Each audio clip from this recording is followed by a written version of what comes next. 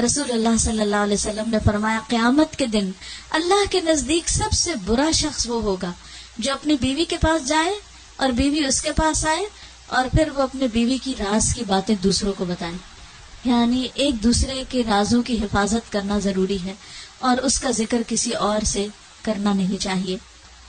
और दोनों को एक दूसरे के लिए तहफ़ुज का कंफर्ट का ज़रिया बनना चाहिए। यानी जहाँ औरत को मर्द के लिए तहफ़ुज का ज़रिया होना चाहिए, वहाँ मर्द को भी औरत के लिए हिफाजत करने वाला, उसके हुकूक की प्रोटेक्शन करने वाला।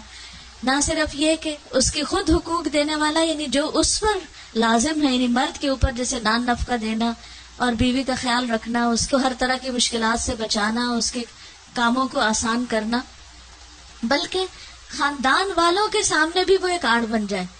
ऐसा होता है, बाजू का एक शौहर अपनी बीवी के साथ बहुत अच्छा होता है। लेकिन बाजू का सास के बहकाने से, नंद के बहकाने से, किसी और के, उसके अंदर को बदगुमानियाँ गलत फहमियाँ शैतान की तरफ़ से डाली हुई आ जाती। तो ऐसी सूरत में भी शौहर को बीवी के लिए एक प्रोटेक्शन बन जाना चाहिए कि ये अपना सब कुछ घर बार छोड़कर यहाँ आई है। इसने अपने माँ बाप का प्यारा घर छोड़ा, उनकी मोहब्बतों को छोड़ा बहन भाइयों की मोहब्बतों को छोड़ा अपनी दोस्तों को छोड़ा देखिए, एक लड़की जब किसी दूसरे घर में आती है तो वो बहुत कुछ कुर्बानियाँ करके आती, बहुत सी चीज़ों की हिजरत करके आती। तो उसका दूसरे घर पर हक होता है। तो सबसे ज़्यादा शौहर का हक बनता है, उसका फ़र्ज़ बनता है कि वो बीवी को मोहब्बत देने वाला हो और हर तरफ़ से एक तरह से प्रोटेक्ट करने वाला हो और जितनी भी उसके ऊपर आने वाली तकलीफें उनका मदावा करने वाला हो। क्योंकि वो इस शख्स के वादे पर आ गई है, जो उसने लोगों के सामने और अल्लाह के सामने किया था कि वो इस औरत के हकूक की हिफाजत करेगा।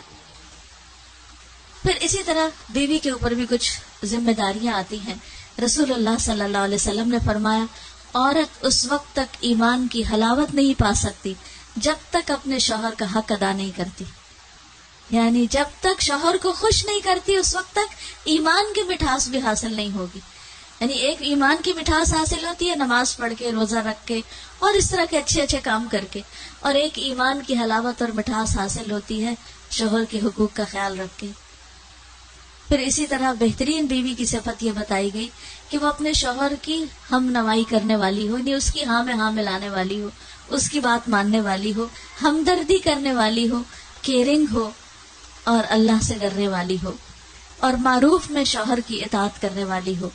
क्योंकि जिस हदीस में ये आता है कि वो जन्नत के जिस दरवाजे से चाहे दाखिल हो जाए, उसमें एक रिवायत में ये भी आता है कि जो औरत पाँच वक्त की नमाज़ पढ़ती हो रमज़ान के रोज़े रखती हो, अपनी शर्मगाह की हिफाजत करती हो। यानी अपने शोहर के अलावा किसी और मर्द के साथ उसके ताल्लुकात न हो और अपने शोहर की इतात करती हो। उससे कहा जाएगा कि जन्नत के जिस दरवाजे से चाहो दाखिल हो जाओ। यानी इसमें औरत को खास तौर पर अपने शर्म हया की हिफाजत ज़रूरी है, जैसे लिबास की, अपनी जेबो जीनत की, अपनी खूबसूरती की, ये सब कुछ शोहर की अमानत है। इसे शोहर के अलावा किसी और के लिए नहीं रखना चाहिए।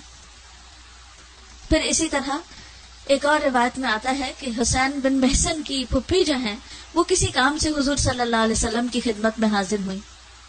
तो आपने उनका काम करने के बाद पूछा, क्या तुम शादीशुदा हो? उन्होंने अर्ज़ किया, जी हाँ। तो आपने उनसे पूछा कि तुम्हारा अपने शोहर के साथ कैसा रवैया है? यानी उनका कितना ख्याल रखती हो? उन्होंने कहा कि मैंने उनकी खिदमत करने में इतात करने में कभी कसर नहीं छोड़ी, यानी मैं बहुत ख्याल रखती हूँ।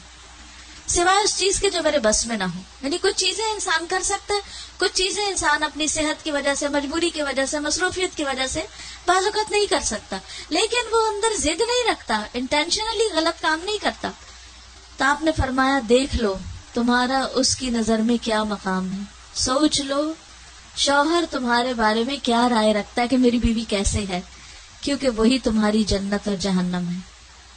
तो इसलिए जहाँ शादी से पहले वालदेन के नज़र में अपना मकाम देखने की ज़रूरत है कि वो हमारे बारे में क्या कहते हैं। इसी तरह शादी के बाद शोहर की निगाह में मकाम अच्छा रखना भी हमारी जिम्मेदारियों में से है।